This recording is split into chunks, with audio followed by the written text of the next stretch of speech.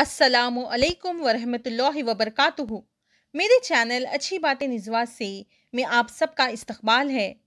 कैसे हैं आप सब व्यूवर्स उम्मीद करती हूँ आप सब बखैर होंगे। चलिए सुनते हैं आज की हदीस।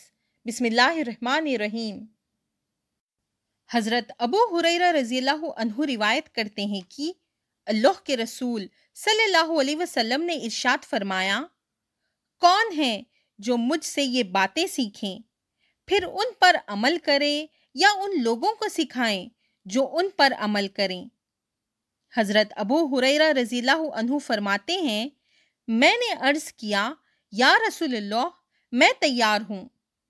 आप सल्लल्लाहु अलैहि वसल्लम ने शफकत से मेरा हाथ अपने हाथ में ले लिया और गिनकर ये पाँच बातें इरशाद फरमाएँ।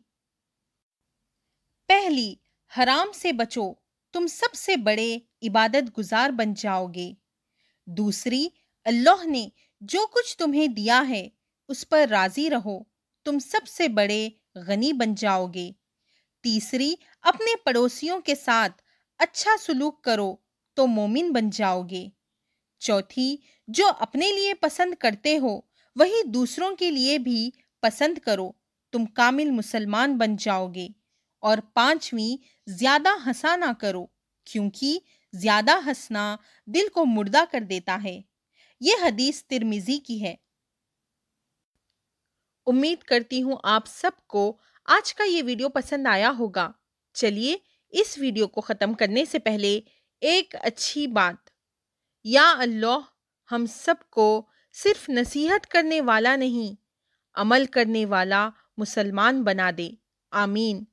इंशाल्लाह। फिर मिलेंगे मेरे अगले वीडियो में एक नई हदीस के साथ। मेरे चैनल को लाइक करें, शेयर करें और सब्सक्राइब करें। अल्लाह हाफिज़।